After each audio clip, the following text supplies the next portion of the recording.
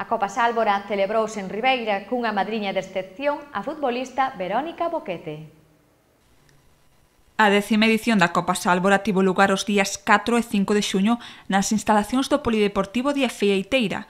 Na cita organizada polo Sálvora Club de Fútbol, algúns dos equipos base ribeirenses gañaron nunha das categorías que formaba parte desta competición. Foi na dos prebenjamines que venceron na final ao Vila do Corpus por 4-1. Os benjamines fixeron o propio contra ese mesmo equipo portugués por 2-1. Pola contra, en Alevines, o Vila do Corpus impúxose por un 4-0 ao Xuventú Aguiño. Este último deu a campanada na semifinal ao impoñerse ao Compostela. Ademais, Uxía San Pedro, integrante do Sálvora, gañou o trofeo Verónica Boquete a mellor xogadora de fútbol 8. Ata aquí as novas que deixou este luns na comarca do Barbance Muros Noia. Grazas por acompañarnos. Poden seguirnos na página web www.tv27barbanza.com ou no Facebook Canal Barbanza.